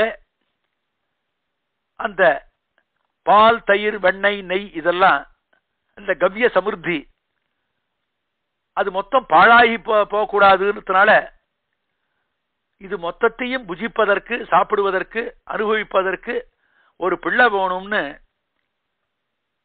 நாலு பேர் நோன்பு நோற்றார்களாம். வசுதேவர் தேவகி யசோதை பிராட்டி நந்தகோபன். இந்த நான்கு பேரும் நோன்பு நோற்றார்கள் அனந்த வர்த்தம் இருந்தார்கள். அப்படி பெற்ற பிள்ளைதான் ஸ்ரீகிருஷ்ணன். கோவலனாய் வெண்ணை உண்ட வாயன். சுவாமி தேசிகன் முனிவாகன போகத்தில் ஆச்சரியமா சாய்க்கிறார். எட்டும் இரண்டும் அறியாத இடையர். எட்டு ரெண்டு எவ்வளவுன்னா பத்துன்னு சொல் தெரியாதான். ஆக எட்டும் இரண்டும் அறியாத அந்த இடையரையும் இடைச்சிகளையும் ரட்சிக்கையாலே தன்னுடைய சர்வலோக ரட்சகத்துவம் வெளிப்படும்படி இடையரிலே ஒரு ரூபம் கொண்டு ஆசிரிதர் உகந்த திரவியமெல்லாம் தனக்கு உகப்பு என்னும்படி தன்னை மாற்றிண்டு அவர்கள் ஈட்டிய வெண்ணெய் சூட்டுனன் மாலை அந்த விஷயத்துல அது தான் ஸ்ரீ வைகுண்டாதிபதியா இருக்கிற சமயத்துல அங்க எப்படி அப்ராகிருதமான போகத்தை எல்லாம் அனுபவிச்சானோ அனுபவிச்சிருக்கானோ அதே அனுபவத்தை இங்கேயும் அவன் இடையராக மாறி அவன் பெற்றுக்கொண்டிருக்கிறான்னா? ஆக அந்த அனுபவம் இப்பவும் பெரிய பெருமாள் கிட்ட இருக்கான் இப்போதும் அந்த குணுங்கும் அந்த குணுங்கு அந்த வாசனை அப்படியே தென்படுற மாதிரி அந்த திருமுகத்தை உடையவனாக பெரிய பெருமாள் திகழ்கிறானா இப்போ கூட பெரிய பெருமாள் கிட்டக்க வந்து அப்படி வாய் கிட்டக்க போனோமான் நாம அப்படி குனிஞ்சு பார்த்தோமானால் அந்த வெண்ணெய் அவன் களவு செய்து உண்ட அந்த வெண்ணெய் வாடை இப்பவும் அடிக்கும்னு பூர்வாச்சாரியால் சுவாரஸ்யமா எழுதியிருக்கா ஆக கோவலனாய் வெண்ணெய் உண்ட வாயன் அப்படின்ற அது மாத்திரமில்ல களவு கண்டு இவன் என்ன பண்றான்? ஒளிஞ்சு ஒளிஞ்சு நிற்கிறவன். ஆக இவன் களவு காண்பானேன் இந்த மாதிரி ஒளிந்து நிற்பானேன் பூர்வாச்சாரியால் சுவாரஸ்யமா பிரபந்த வியாக்கியானங்கள்ல இதை அனுபவிக்கிறார். ஆக அப்படி இவன் களவு கண்டு நிற்கும் நிலை. இவன் அப்படி களவு காண காண்கிற அந்த காரியத்தை அவன் செய்யாத சமயத்திலேயும் இவன் தாய்க்கு அஞ்சு அஞ்சு நிற்க வேண்டிய ஒரு நிலையும் உண்டு. யாரோ ஒருத்தி ஏதோ கடன் வாங்குறதுக்காக யசோதை கிட்ட வந்தா இவன் கண்கள்லேருந்து அப்படியே கண்ணீர் அப்படியே முட்டி நிற்கிறதான் தன்னை பத்தி ஏதோ ரிப்போர்ட் பண்ற அம்மா நான் ஒண்ணும் பண்ணல நான் ஒண்ணும் பண்ணலன்னு அழறானா? பையவே நிலையும் வந்து அப்படின்னு அழுவாரத அப்படி அழகா அனுபவிக்கிறார். அப்படி என் நெஞ்சு அப்படியே உருக்கிறது இந்த காட்சின்றார். அந்த மாதிரி கோவலனாய் வெண்ணெய் உண்ட வாயன் அப்படின்றார் அழ்வார். ஆக பெரிய பெருமாள் முரட்டை மோந்து பார்த்தால் இப்போதும் வெண்ணெய் நாரா நிற்கும். அழகான வியாக்கியானம். ஆக அப்பேற்பட்ட வெண்ணை உண்ட வாயன் கருப்பூரம் நாருமோ கமலப்பூ நாருமோ அப்படின்னு ஆண்டாள் நாச்சியார் சொன்ன மாதிரி அந்த மாதிரியான சந்தேகம் எதுவும் ஏற்படாதபடி அந்த பெரிய பெருமாளுடைய அந்த திருவாய் அந்த வாசனை வெண்ணெய் வாசனை அப்படியே தென்படுகிறதாம். வெண்ணை உண்டவாயன். அவன் யார் அவன் என் உள்ளம் கவர்ந்தானை. என்னுடைய உள்ளத்தை அப்படியே கவர்ந்து விட்டான் அவன். கோவலனாய் அதாவது இடையனாய் வெண்ணை உண்டா போலே கொண்டல் வண்ணனாய் என் உள்ளம் கவர்ந்தவனை. அவன் நீலமேக சியாமலனாய் என் உள்ளத்தை அப்படியே கவர்ந்துட்டான். யசோதை பிராட்டியினுடைய நெஞ்சிலே பண்ணின அந்த வியாபாரம் எல்லாம் இருக்க அவள் எப்படி எப்படி அனுபவத்தை அவள் அடைஞ்சாளோ. யசோதை பிராட்டி இந்த பூலோகத்திலேயே அந்த ஸ்ரீவைகுண்டத்தில் முக்தாத்மாக்கள் பெறுகின்ற அந்த பேரின்பத்தை இந்த லோகத்திலேயே அவள் பெற்றபடியினால அந்தம் இல் பேரின்பத்தை சிற்றின்பமாக்கினாள்னு பூர்வாச்சாரியால் அனுபவிக்கக்கூடிய அளவுக்கு அப்பேற்பட்ட ஒரு பாக்கியத்தை பெற்றாள். யசோதை பிராட்டி. அப்பேற்பட்ட அந்த நிலையை என் நெஞ்சிலே பண்ணி அவன் திகழ்கிறான் அப்படின்னு திருப்பானாழ்வார் ரொம்ப சுவாரஸ்யமாக அனுபவிக்கிறார். அந்த திருவாய்ப்பாடி பெண்கள் உரிகளிலே வெண்ணெயை வச்சு அதற்கு அடையாளமாக அவ வந்து ஒரு அடையாளம் செஞ்சுட்டு போவாளாம். அந்த உரிகளுடைய அந்த குறி அழியாதிருக்க அந்த வெண்ணெய்களை வெறும் தரை ஆக்கினார் போலே ஒண்ணும் இல்லாத மாதிரி பண்ணிடுவான் கிருஷ்ணன். அதை அப்படியே புசிச்சுட்டு சாப்பிட்டுட்டு அதை தான் அப்படி அப்படியே வச்சிருவான் காலி பாத்திரத்தை. ஆக அரங்கம் தன்னுள் கல்வனார்னு ஆழ்வார் சொன்ன மாதிரி இந்த பெரிய பெருமாள் அல்லவா கிருஷ்ணனாக அவதாரம் பண்ணவன்? ஆக இந்த அரங்கம் தன்னுள் கல்வனார்னு ஆழ்வார் சொன்ன மாதிரி எப்படி அங்க வெண்ணையை அவன் கவர்ந்து உண்டானோ அந்த மாதிரி வெண்ணையை கவர்ந்த மாதிரி என் சிந்தையையும் அவன் கவர்ந்து விட்டானே. என் உள்ளம் கவர்ந்தானை அப்படின்றார் திருப்பானாழ்வார். ஆக வைத்த குறி அழியாதிருக்க வெண்ணை விழுங்கி வெறுங்கலம் ஆக்கினான். வெறும் பாத்திரத்தங்க வச்சான். அது போலவே என்னுடைய சரீரம் குறி அழியாதிருக்க என்னுடைய மனசை அபகரித்தான். களமிருக்க வெண்ணை குடி போனா போலே இவர் உடம்பிருக்க மனம் குடி போனபடி நம் பூர்வாச்சாரிகள் சுவாரஸ்யமாக வியாக்கியானம் பண்ணார்கள். என்னுள்ளம் கவர்ந்தானை அது மாத்திரமில்ல தெய்வீ சம்பத் விமோட்சாய நிபந்தாய ஆசுரி மதா மாசுச்ச சம்பதம் தெய்வீம் அபிஜாத்தோசி பாண்டவ. பகவத்கீதையில பதினாறாவது அத்தியாயத்தில் சொல்லப்பட்ட விஷயம் அர்ஜுனா என் கட்டளைப்படி நடப்பதாகிற அந்த தெய்வீக செல்வம் அது மோட்சத்தின் பொருட்டு ஆகிறது. அதை மீறி நடப்பதாகிய ஆசுரச் செல்வம் அதோகதிக்கு இலக்காக்குகிறது. ஆகவே பாண்டுபுத்திரனே நீ வருத்தம் அடைய வேண்டாம். நீ தெய்வீகமான அந்த செல்வத்தை பிறப்பிலேயே பெற்றிருக்கிறாய் அப்படின்னு கீதாச்சாரியன் சொன்ன மாதிரி பெரியவர்கள் எல்லாருடைய எல்லாரும் தம்முடைய மனசை எம்பெருமானிடம் வைக்க வேணும்னு பார்த்து அது செய்ய முடியாமல் சஞ்சலம் ஹி மனக்கிருஷ்ண பிரமாதி பலவத்ரிடம் தஸ்யாகம் நிகிரகம் மன்யே வாயோருவ வாயோரிவ சுதுஷ்கரம்னு கீதையில சொன்ன மாதிரி கிருஷ்ணா மனம் நிலையற்றதாகவும் நிலை கலங்க செய்வதாகவும் பலம் உள்ளதாகவும் கீழான விஷயங்களில நிலையானதாகவும் இருக்கே அப்படின்னு அர்ஜுனன் சொன்ன மாதிரி காற்றை போல் அதை அடக்குவதையும் செய்ய முடியாததாக நான் நினைக்கிறேன்னு அர்ஜுனன் சொன்ன மாதிரி பெருங்காற்றை கூட தாம் விட்டு பிடிக்கலாம். அது ஒரு கயிறை போட்டு பிடிச்சு இழுத்துடலாம் என் மனசை ஒரு அளவாக அளவாக்க போகிறதில்லை அப்படின்ற நிலைமையில மனசினுடைய அந்த சஞ்சலத்துவம் அது திமிரும்படியான அந்த மிடுக்கு அதெல்லாம் இருக்கு. அவ்வாறாக நின்றவான் இல்லான்னு ஆழ்வார் சொன்ன மாதிரி மனசை நானும் அறியாதபடி அந்த எம்பெருமான் பெரிய பெருமாள் தன் பக்கத்தில அப்படியே சேர்த்துட்டான் என் உள்ளம் கவர்ந்தானை. அவன் யார் அவன்? அண்டர்கோன். அவன் வந்து நித்திய சூரிகளுக்கெல்லாம் தலைவன். இப்படி இடையர் இடைச்சி மற்றும் திருப்பானாழ்வார் இவர்களோடு வந்து கலந்தது. வெண்ணையையும் மனசையும் களவு கண்டது. அவன்கிட்ட இருக்கிற குறையினால அப்படியே மேல் மேல் வந்து விழுந்து இந்த மாதிரி பண்றான். அவன்கிட்ட ஏதாவது குறை உண்டோ அப்படின்னு கேட்டா அவன்கிட்ட எந்த குறையும் இல்லை அந்த எம்பெருமான் கிட்ட அவன் சர்வேஸ்வரன் அல்லவா? அவன் நித்திய சூரிகளுக்கு நாயகன் அல்லவா? அண்டர்ஹோன் அப்படின்றார் திருப்பானாழ்வார். ஏன்னா அங்கேயே அவன் பரத்துவம் அப்படியே பொலிய ஸ்ரீவைகுண்டாதிபதியாக நித்திய சூரிகள் அனந்தகட விஸ்வசேனாதிகள்லாம் எப்பவுமே கண் இமை கொட்டாமல் சேவித்துக் கொண்டிருக்கக்கூடிய அந்த மேலாம் நிலைமையை உடையவன் நித்திய சூரியர்களுக்கெல்லாம் தலைவன்.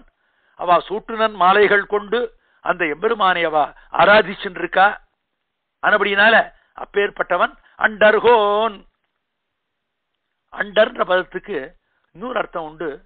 இடையர்னு ஒரு அர்த்தம் உண்டாம். ஆக இடையர்னா நாம இடையன் இடைச்சி சொல்ற அந்த அர்த்தம் இல்லைங்க. இடையில இருக்கிறவர்னு.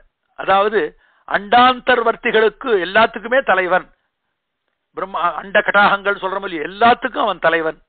அண்டர்கோன் இடையருக்கு அத்தனை பேருக்கும் அவன் தலைவனாய் அவளை நியமிப்பவனாய் நின்ற அந்த எளிமை என்ற அந்த குணம் அது குணமாக ஆகும்படி அண்டாதிபதியான பிரம்மா முதலான மற்றும் அண்டாந்தர்வர்த்திகளான அந்த தேவாதிகள் அத்தனை பேருக்கும் இவன் வந்து சுவாமியாக இருக்கிறபடினால சுவாமித்துவம் அந்த சுவாதந்திரியம் இவர்களோடு கூடினவனாக இருக்கான் சர்வேஸ்வரன். அப்பேற்பட்ட மேன்மை எம்பெருமானுக்கு இருக்கு. அண்டர்கோன். ஆக எம்பெருமான் கிட்ட அந்த பரத்வமும் இருக்கும். பரத்வே சதி சௌலபியம். சௌலபியமும் இருக்கும். அதாவது எளிமையும் இருக்கும் மேன்மையும் இருக்கும். இதை சொல்லும்போது ரெண்டு தோழிகள் எம்பெருமானுடைய எளிமையையும் மேன்மையும் பேசுகிறார் போல திருமங்கை ஆழ்வார் பாசுரமிட்டார் அதை பூர்வாச்சாரியார் அனுபவிக்கிறார் அழகாக. திருமங்கை ஆழ்வார் இதை அழகாக அனுபவிக்கிறார் பெரிய திருமொழியில. பதினோராவது பத்துல வண்ணக் கருங்குழல் ஆட்சியால் முத்துண்டு கண்ணி குறுங்கயிற்றால் கட்டுண்டான் காணேடி. கண்ணி குறுங்கயிற்றால் கட்டுண்டானாகிலும் எண்ணற்கரியன் இமையோர்க்கும் சாழலே. ஒரு தோழி சொல்றா எங்க பெருமாள் எப்பேற்பட்ட எங்க கிருஷ்ணன் அவன் சௌலபியம் சௌலபியத்தோடு கூடினவன் அல்லவா? சர்வ சுலபனவன் எல்லாருக்கும் சுலபனவன். ஒரு ஆய்ச்சி அவனை வந்து அடிச்சு கட்டிட்டாளே. அவள் கட்டு கட்டினதுக்கு கட்டுண்டானவன். தன்னுடைய அந்த சௌலபியத்தை அவன் காமிக்கிறவன் இல்லையா? அப்படின்னா இன்னொரு தோழி சொல்றா அவன் அப்படி கட்டுண்டானாகிலும் அவனை நினைச்சு பார்க்க முடியுமா? உணர்வாரார் உன் பெருமை ஊழிதோர் ஊழி அப்படின்னு ஆழ்வார் அனுபவிச்ச மாதிரி அந்த எம்பெருமானை யார்? அறிய தகுந்தவன். எண்ணற்கு அரியன். அவன் யார்? இமையோர்க்கும் நாயகனவன் நாதனவன் அப்பேற்பட்ட நிலையில் உள்ளவன் சொல்லி அவனுடைய பரத்துவத்தை இன்னொரு தோழி சொல்றாளாம். அப்படி பரத்துவமும் சௌலபியமும் ரெண்டும் கூடிய இருப்பவன் அந்த சர்வேஸ்வரன். அண்டர்கோன் அவன் யாரவன்? அணியரங்கன். இந்த அரங்கநகர் அப்பனாக ஸ்ரீரங்கத்தை அலங்கரிக்கக்கூடிய அளவுக்கு ஸ்ரீரங்கத்தில் அவன் சயனிச்சென்றிருக்கான் ரங்கநாத பெருமாளாக பெரிய பெருமாளாக ஆக இந்த பெருமாள் எப்படி இருக்காருன்னார்? தேவர்களுக்கு உப்புச்சாறு கிடைச்சது அமிர்தம். அந்த உப்புச்சாறு போல் இல்ல. திருப்பானாழ்வாருடைய இந்த அமிர்தம். தேவர்களுக்கு அமிர்தம் கிடைச்சது. அது உப்பு சாறு. ஆனா திருப்பானாழ்வார் பெற்ற அமிர்தம் இருக்க. அது பரம போக்கியமான அமிர்தம் இல்லையா? அணியரங்கன் என் நெஞ்சை அபகரித்து சேனுயிர் வானத்திலே போகாமல் கண்ணிட்டு காணலாம்படியாக இந்த சம்சாரத்திற்கு ஆபரணமான கோயில்னு சம்பிரதாயத்துல பேசப்படுகிற இந்த ஸ்ரீரங்கத்துல வந்து கண் வளர்ந்திருந்திருக்கான் சர்வேஸ்வரன் ஸ்ரீ ரங்கநாதன். ஆக நித்திய சூரிகளும் சுவதேசத்தை தன்னுடைய தேசத்தை விட்டுட்டு இங்கே வந்து அவ சேவிக்கிறாள்னா அப்பேற்பட்ட ஆகர்ஷகமான அழகான இந்த ஸ்தான விசேஷத்துல அவன் இருந்திருக்கான். அப்படியே அடியேனை அனுபவ ரச பரவசனாக ஆக்கிட்டான். அப்படின்னு ஆழ்வார் ஆசை தீர அனுபவிக்கிறார். அண்டர்கோன் அணியரங்கன் என் அமுதினை ஆஹா அளப்பரிய அறமுதை அரங்கம்மேய அந்தணனைன்னு திருமங்கை ஆழ்வார் சொன்ன மாதிரி எப்பேற்பட்ட அமிர்தம் இவன். ஏததேவ அமிர்தம் திருஷ்டுவா திருப்பியந்தின்னு உபனிஷத்துல ஒரு மந்திரம் இருக்கு. அந்த மாதிரியான ஒரு அமிர்தம் இல்லையா இவன்? என் அமுதனை என்னுடைய அமிர்தம். பரமபதத்திலும் திருப்பார்கடலிலும் ஆதித்ய மண்டலாதிகளிலும் அந்தந்த நிலங்களைச் சேர்ந்தவர்கள் அனுபவிக்கும்படியான அமிர்தம் போல் அப்படியே அங்க நின்றுருக்க நின்றுண்டே நின்றுட்டே இருக்காமல் நீச்சனேன் நிறைவொன்றுமிலேன்னு இருக்கக்கூடிய நிலையில நானும் அனுபவிக்கும்படி எனக்கு அசாதாரணமாய் ஜரா மரணாதி அந்த பிரவாகம். ஆக மூப்பு மரணம் போன்ற இந்த பிரவாகம். அது அப்பேற்பட்ட இந்த பிரவாகத்தோடு கூடினதான இந்த இடத்துல தன்னுடைய நிறத்திசயமான அந்த தன் வடிவழகையெல்லாம் காட்டி தன்னுடைய போக்கியத்தையே நான் அனுபவிக்குமாறு பண்ணினவன் அப்படின்றாராம் ஆழ்வார். சுவாமி தேசிகன் ஆச்சரியமா சாதிக்கிறார் இத. ஆக வேறு எந்த பயனும் எனக்கு பலனும் எனக்கு தேவையில்லை. அனன்ய பிரயோஜனம் நான். எனக்கு வேறு எதுவும் வேண்டாம். அப்படின்னு இருக்கிற ஆழ்வார் இருக்கார திருப்பான ஆழ்வார் அவர் எந்த விதமான முயற்சியும் இல்லாமல் அவர் பெற்ற ஒரு பேரின்பம் இது அப்படின்றார் சுவாமி தேசிகன். அனன்ய பிரயோஜனான நான் அயத்தனமாக பெற்று அனுபவிக்கும்படியான அமிர்தமானவனை அப்பேற்பட்ட அந்த பெருமான் அரங்கநகரப்பன் அவனை கண்ட கண்கள் என் கண் என் கண்கள்னு சொல்லாம கண்ட கண்கள்ன்ற.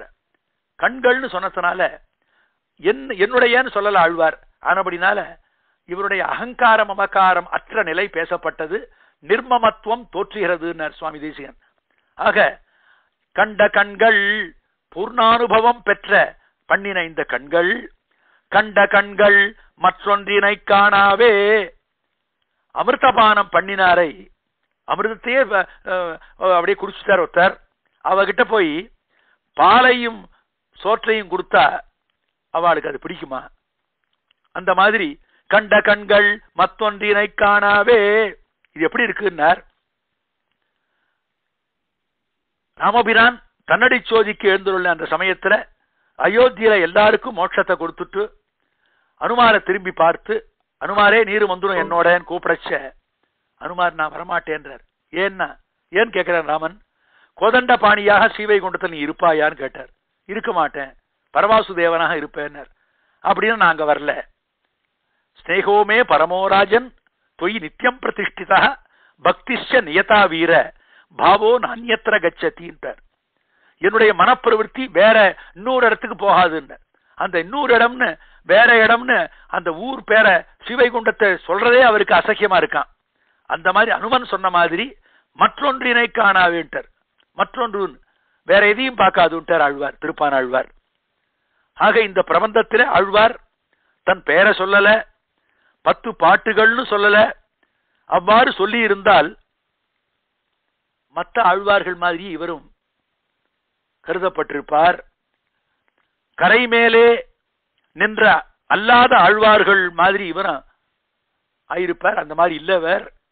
என்னுள்ளம் கவர்ந்தான் என்கையாலே சித்தாபகாரம் பண்ணின அந்த நிலையை சொன்னார்.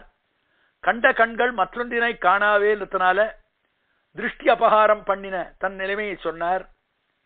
விசஸ்மார ததாத்மானம்னு விஷ்ணு புராணத்தில் சொன்ன மாதிரி பிரகலாத ஆழ்வான் தன்னை மறந்த மாதிரி ஆழ்வாரும் தம்மை மறந்தார். சதா பசியந்தி அப்படின்னு ஸ்ருதியில சொன்ன மாதிரி ஆழ்வார் பெரிய பெருமாளை சேவித்தபடியால் இவருக்கு அது சித்திச்சது. பலம் சித்தித்தபடியால் பலத்துக்கு தனியாக பலம் வேண்டி பலஸ்ருதி பாடல்னு கடைசியில ஒரு இன்னாரால் எழுதப்பட்டது இதை சொல்றவாளுக்கு இந்த இது கிடைக்கும்னு எல்லா ஆழ்வார்களும் சொல்ற மாதிரி இவர் சொல்லலையாம். ஆக பலத்துக்கு பலம் வேண்டாம் அப்படின்னு பூர்வாச்சாரியால் சுவாரஸ்யமாக வியாக்கியானம் பண்ணா மற்றொன்றினை காணாவே ஆழ்வாருடைய இந்த கண்கள் வேறே சிலவற்றை காண வேணும் என்றால் இங்கே குறையிருந்தால் தானே வேற இன்னொன்னு காண முடியும்? அந்த குறையே வைக்கலையா? ஆக இங்க சுவாரஸ்யமான வியாக்கியான வரிகள் இவர் பக்கல் ஔதாரியம் இல்லை என்று போகவோ? இவர் கண்ண எம்பெருமானை பார்த்த இந்த கண்கள் வேற எதையும் பார்க்காதுன்னா. இவர் பக்கல் ஔதாரியம் இல்லை என்று இன்னொரு இடத்துக்கு போறதா? ஔதாரியம் இங்கேயே இருக்க பெரிய பெருமாள் கிட்ட. வடிவில் பசை இல்லை என்று போகவோ? சௌசீல்யம் இல்லை என்று போகவோ? நெஞ்சுக்கு பிடித்திருந்ததில்லை என்று போகவோ மேன்மை இல்லை என்று போகவோ சௌலபியம் இல்லை என்று போகவோ போக்கியத்தை இல்லை என்று போகவோ அது பலத்தில் குறை உண்டென்று போகவோ ஆக மற்றொன்றினை காணாவே. நோபஜனம் ஸ்மரன் இதகும் சரீரம் அப்படின்னு உபனிஷத் சொன்ன மாதிரி முக்த பிராபியமான அந்த புருஷார்த்தத்தை அனுபவித்தார்.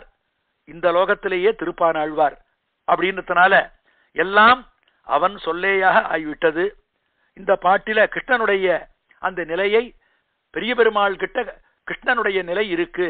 பெரிய பெருமாளே கிருஷ்ணன் தான் அப்படின்றத சுவாரஸ்யமாக அழ்வார் அனுபவிச்சார். மற்றொன்றினை காணாவே பெரிய பெருமாள் திருமேனியில திருமலை முதலாக கோயில் கொண்ட அர்ச்சாவதாரங்கள்லேயும் ராமகிருஷ்ண வாமன வடபத்திரசாயி போன்ற அத்தனை அம்சங்களும் அந்த போக்கியத்தை எல்லாம் சேர அரங்கநகரப்பன் பெரிய பெருமாள் திருமேனியிலே எல்லாத்தையும் பார்த்துட்டார் ஆழ்வார். இந்த ஆபிரூபியத்திலே ஈடுபட்ட என் கண்கள் மற்றொன்றினை காணாவே அதாவது பர வியூக விபவாதிகளான திருமேனிகளை எல்லாம் காட்டினாலும் எனக்கு தேவையில்லை. பெரிய பெருமாள் கிட்டே எல்லாத்தையும் நான் பார்த்துட்டேன். தாய்ப்பால் குடிக்கிற குழந்தைக்கு தாயினுடைய திரு சரீரம் மொத்தத்திலையும் அவ அந்த குழந்தையினுடைய பசியை தீக்கக்கூடிய அவயவம் எதுவோ அந்த அவயவத்தை தவிர மற்ற அவயவங்களை அது நினைச்சே பார்க்காது குழந்தை. ஆக ஸ்தனந்தயத்துக்கு போக்கியாந்தரங்கள் ருச்சியாதா போலேன்றார் சுவாமி தேசிகன். அந்த மாதிரி பாவோ நானியத்திர கச்சத்தின்னு சொல்லி என் மனப்பிரவருத்தி வேற எங்கேயும் போகாது மற்றொன்றினை காணாவேன்னு சொல்லி ஆழ்வார் அழகான இந்த பிரபந்தத்தை நிறைவு பண்ணுகின்றார். அப்பேற்பட்ட ஆச்சரியமான இந்த அமரநாதிபிரான்ற இந்த பிரபந்தத்தை நாம் அழகாக அனுபவிச்சோம். நம்முடைய ஆச்சாரியால் காட்டின வழியில அனுபவிச்சோம். இந்த அமரநாதிபிரானுடைய வியாக்கியானத்துல வியாக்கியானத்தினுடைய கடைசியில சுவாமி தேசிகன் அழகாக ரெண்டு தமிழ் பாடலை அழகாக அருளி செஞ்சிருக்கார். அதையும் சொல்லி சுவாமி தேசிகன் ரெண்டு ஸ்லோகம் கடைசியில சாதிச்சிருக்கார் இதை யாரும் சொல்றது இதை நாம் இது அப்படியே இதை நான் வந்து உலக உலகத்தார் அறியணும்ன்ற ஆசையால அதையும் இங்க அடியேன். இங்க விண்ணப்பிக்கிறேன். ஆதிமறை என ஓங்கு அரங்கத்துள்ளே அருளாரும் கடலை கண்டவன் என் பாணன். ஓதியதோர் இரு நான்கும் இரண்டுமான ஒரு பத்தும் பத்தாக உணர்ந்துரைத்தோம். நீதியறியாத நிலை அறிவார்க்கெல்லாம் நிலை இதுவே என்று நிலை நாடி நின்றோம். வேதியர் தாம் விரித்துரைக்கும் விளைவுக்கெல்லாம் விதையாகும் இது என்று விளம்பினோமே. காண்பனவும் உரைப்பனவும் மற்றொன்றின்றி கண்ணனையே கண்டுரைத்த கடிய காதல் பான் பெருமாள் அருள் செய்த பாடல் பத்தும் பழமறையின் பொருள் என்று பரவ நின்றோம். வெண் பெரிய விரை திரைநீர் வையத்துள்ளே வேதாந்த ஆரியன் என்று எம்ப நின்றோம். நான் பெரியோம் அல்லோம். நாம் நன்று தீதும் நமக்குரைப்பார் உளரென்று நாடுவோமே. இதி ஸ்ரீ இதி கவிதார்க்கிக சிம்ஹா சம்யக் வியாச்சஷ்ட சாத்விக பிரீத்தியை. முனி மகித சுகவி காதா தசகமிதம் தேசிகோபஜம் யாரோ ஒரு சாத்விகர் ஒரு பெரியவர் அவர் வந்து சுவாமி கிட்ட வந்து தேசிகன் கிட்ட வந்து இந்த மாதிரி அமரநாதிபிரானுக்கு ஒரு வியாக்கியானம் சாதிக்கணும்னு கேட்டுண்டாராம்.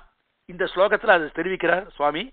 இதி கவிதார்க்கிக சிம்ஹா சம்யக் வியாச்சஷ்ட சாத்விக பிரீத்தியை. ஒரு சாத்விகருடைய பிரீத்திக்காக இதை நான் செஞ்சு முடிச்சேன்னு சாய்க்கிறார் முனி மகித சுகவி காதா தசகமிதம் ஆக ஆச்சாரியோபதேசத்தினால எனக்கு ஏற்பட்ட அந்த ஞானத்தினால இதை நான் வந்து தேசிகன் வியாக்கியானம் பண்ணார். தான் பண்ணேன்னு சொல்லிக்கல. அதுவும் என்னுடைய ஆச்சாரியனுடைய திவ்ய அனுகிரகத்தினாலே சுவாமி தேசிகன் அடக்கமாக வினயத்தோடு சாதிக்கிறார். முனிவாகன போகோயம் முக்தைஸ்வரிய ரசோபம. கிருபையா ரங்கநாதஸ்ய கிருதார்த்தய துணசதா ஆக முக்தர்களுடைய இந்த செல்வமாகிய இந்த பகவத் அனுபவமாகிய இந்த ரசத்தை ஒத்த இந்த முனிவாகன போகம்ன்ற இந்த வியாக்கியானம் ரங்கநாதனுடைய கிருபையினாலே நம்ம எப்பொழுதுமே சபலமாக ஆக்கி நாம் நல்ல நிலையில் இருக்குமாறு செய்யட்டும்னு சுவாமி தேசிகன் ஆச்சரியமாக இந்த முனிவாகன போக வியாக்கியானத்தை சாதிச்சிருக்கார். கவிதார்க்கிக சிம்ஹாய கல்யாண குணசாலினே ஸ்ரீமதே வெங்கடேசாய வேதாந்த குரவே நம திருப்பானாழ்வார் திருவடிகளே சரணம். லோகா சமஸ்தா சுகினோ பவன்